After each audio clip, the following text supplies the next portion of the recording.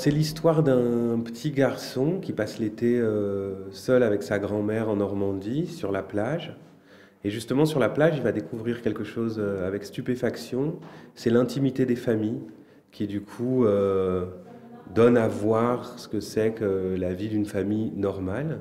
Et là, il se rend compte à quel point lui, il vit dans le silence et dans la solitude. Et il va rencontrer un petit garçon qui va euh, lui ouvrir les portes euh, encore plus de, de l'intimité de ses familles, euh, puisqu'il va passer une partie de l'été avec eux. Et pour lui, ça va être une découverte et un apprentissage du monde.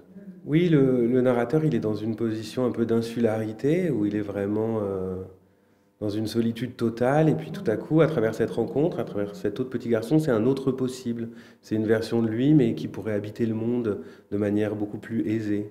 Le narrateur, il est né dans une famille euh, d'émigrés polonais, des juifs, qui sont des rescapés de la Shoah. Et donc, il naît dans un monde qui a déjà été euh, vidé euh, par le génocide et qui est hanté par plusieurs secrets et, et plusieurs deuils. Et du coup, il a une conscience aiguë de la vanité des choses et du fait que euh, un jour, tout ce qu'il ce voit autour de lui, tout ce spectacle du vivant, va disparaître. Il a perdu sa mère et il cherche euh, des figures maternelles et s'offre à lui ou se présente à lui euh, des figures très différentes, celle de la grand-mère qui est une femme mutique mais très solide et nourricière qui s'occupe de lui.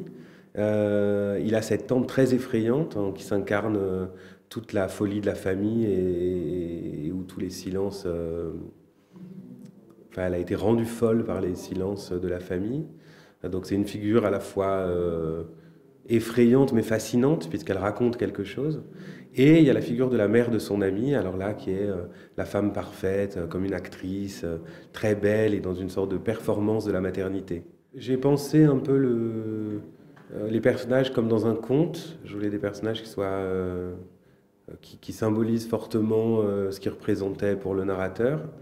Et pour la figure de la mère de Baptiste, oui, j'ai pensé à des actrices, à Delphine Seyrig ou à des incarnations comme ça de femmes euh, qui sont déjà, même, je pensais à Delphine Séric dans Baiser volé, qui est déjà une, incarnation de la femme parfaite pour Antoine Douanel. Et donc, elle, est comme ça. D'ailleurs, il le dit dans le film, c'est une apparition.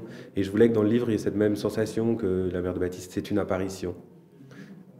Et pour les autres personnages, euh, la grand-mère et la tante, euh, je me suis plus inspiré de, gens que j'ai connus. Il ne sait pas encore que le monde est aussi fait pour lui. Il croit que le monde est fait pour les gens comme Baptiste. Lui, il voudrait être un, enfant normal.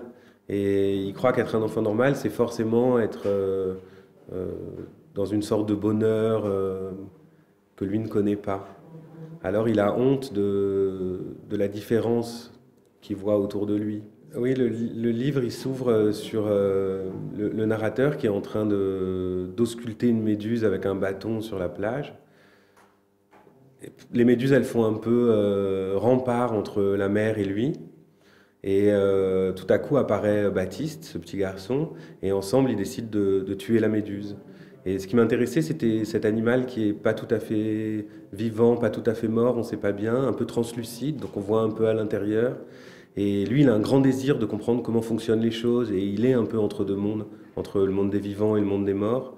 Et du coup, il y a un enjeu comme ça. Et puis, ce sacrifice à deux, ça scelle leur amitié. C'est difficile de savoir euh, qui écrit en nous, comment se forme l'écriture, mais j'ai été influencé par tous les écrivains que j'aime et, qui, m'accompagnent. Mais pour l'écriture précisément de ce livre, j'ai beaucoup pensé à Nathalie Sarraute. Euh, pour euh, l'économie de son écriture et la manière dont dont elle va chercher des choses qui sont presque avant les mots.